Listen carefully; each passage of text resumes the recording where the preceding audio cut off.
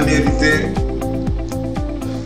Police કર્મચારી અને અધિકારીઓ પહેલા આપ સૌએ જો જોયું હોય, તો એ જે પોલીસ લાઈનોની અંદર રહેતા હતા, એ કાં પતરાવાળી હોય, કાં નડિયાવાળી હોય, અને આજે ક્રમશઃ એમાં સતત આપણે સુધારો કર્યો છે.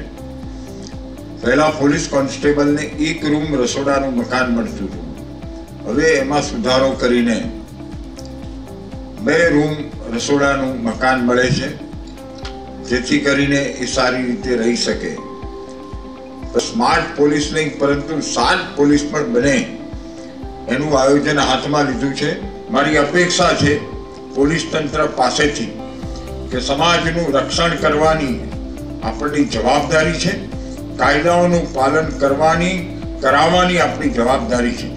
એમાં ઉત્તમ પ્રકારની કામગીરી કરવામાં કોઈ કચાશ નહીં રાખે એવો મને વિશ્વાસ છે. આજના આ કાર્યક્રમમાં દાહોદના નગરજનો મોટી સંખ્યામાં કોરોનાની ગાઈડલાઇન્સમાં આટલા ઉપસ્થિત થયા અને આ કાર્યક્રમને સફળ બનાવ્યો. આપ સૌનો ખૂબ ખૂબ આભાર. ભારત માતા કી જય. વંદે માતરમ.